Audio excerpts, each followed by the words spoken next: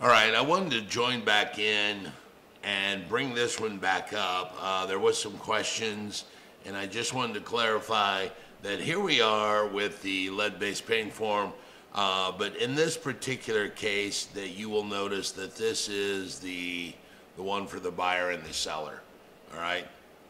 So the last one that I showed you was the landlord and tenant. Uh, but if you'll notice, you still have A1, the situation of where the uh, known lead-based paint hazards or no knowledge. And the B still has here are the records and no reports.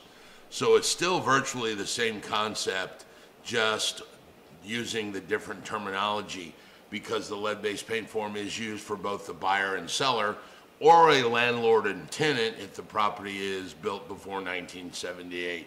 Um, you will see that we mentioned that third section was still, was here in the buyer, which is different than in the landlord.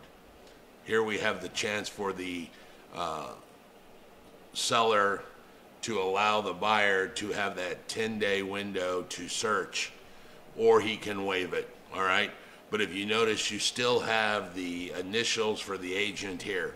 So this is the form for the buyer and the seller. It's, it's the same form that we used a little bit earlier. I just pulled one out of my uh, personal reference, whereas here I've got one off the internet.